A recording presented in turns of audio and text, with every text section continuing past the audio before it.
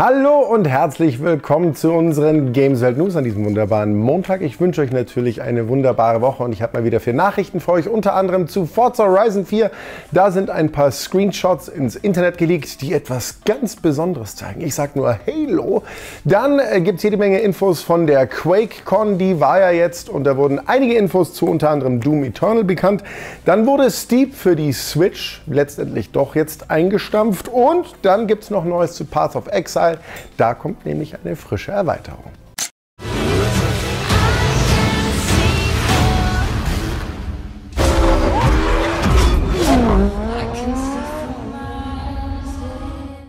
Zu Forza Horizon 4 sind jetzt ein paar Screenshots ins Internet geleakt. Und was sieht man auf diesen?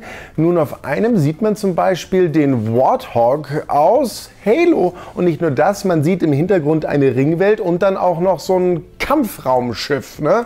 Und das lässt die Leute darauf schließen, dass man vielleicht nicht nur den Warthog steuern kann, das konnte man auch schon alten Forza Horizon spielen, sondern dass es da vielleicht sogar ein ganzes Event gibt, was innerhalb des Spiels dann stattfindet, wo man dann eben diesen Warthog steuert. Sieht auf jeden Fall sehr spektakulär aus, ist natürlich alles noch mit Vorsicht zu genießen. Äh, da werden wir uns noch ein bisschen gedulden müssen. Im Oktober kommt dann Forza Horizon 4 raus. Ich freue mich schon drauf.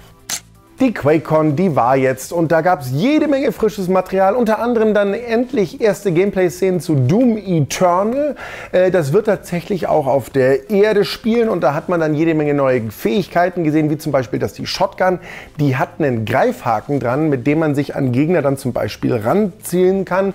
Es wird aber auch einen Invasionsmodus geben. Das funktioniert dann so, dass man als Spieler das Spiel eines anderen Spielers ja invasieren kann und zwar als Dämon Dämon. Man kann sich auch mit anderen menschlichen Spielern zusammentun und dann quasi als Dämonengruppe auf den Doomguy losgehen, finde ich sehr, sehr interessant. Außerdem wurde auch noch frisches Gameplay zu Rage 2 gezeigt mit jeder Menge Fahrzeuge und natürlich abgefahrener Ego-Shooter-Action und jede Menge Fähigkeiten, wie zum Beispiel hier diesen Boomerang, ne, den man werfen kann. Der kann dann sogar um Ecken herumfliegen und Gegner erledigen. Ähm, Doom und Rage 1 werden Teil des Game Passes sein. Äh, Doom Eternal Soll dann auch für die Switch kommen. Wann Doom Eternal jetzt rauskommt, weiß man noch nicht. Allerdings äh, Rage 2 soll im ersten Halbjahr 2019 erscheinen. Und zu Fallout 76 gab es auch ein paar Nachrichten, unter anderem, dass es nicht über Steam erscheinen wird, sondern nur über Bethesda.net. Schon ziemlich abgefahren. Vor langer, langer Zeit, da wurde das Snowboard slash Ski slash ja Fallschirm slash äh, Flugsuit-Spiel Steep auch für die Nintendo Switch angekündigt. Und lange Zeit hat man darauf gewartet und lange Zeit hat man nichts mehr davon gehört. Und jetzt so ganz so nebenbei hat dann hier der offizielle Steep-Account über Twitter verlautbaren lassen, ja, nee, wir konzentrieren uns auf die Versionen, die draußen sind und äh, wir werden das Spiel nicht mehr für die Switch rausbringen. Also das Ding wurde eingestampft. Finde ich persönlich selber sehr schade, aber ich habe mir schon gedacht, wie wollen sie das schaffen, weil das lief ja schon auf der normalen PlayStation 4 und Xbox One nicht sonderlich flüssig, beziehungsweise gab es da immer wieder Probleme. Dann war es immer always on. Ich glaube einfach, die Switch hätte das nicht gepackt, dieses Spiel zum Laufen zu bringen, außer man hätte das sehr abgeändert. Hätte ich dennoch gerne gespielt in einer sehr abgeänderten Version. So wird das aber nichts. Kein Steep für für die Switch mehr. Path of Exile gibt es seit geraumer Zeit für PC und Xbox zum Beispiel. Und äh, da ist es so, dass da jetzt bald ein neuer DLC bzw. eine neue Erweiterung kommen wird. Das Ganze heißt Delph, kommt am PC am 31. August, für die Xbox erst am 3. September.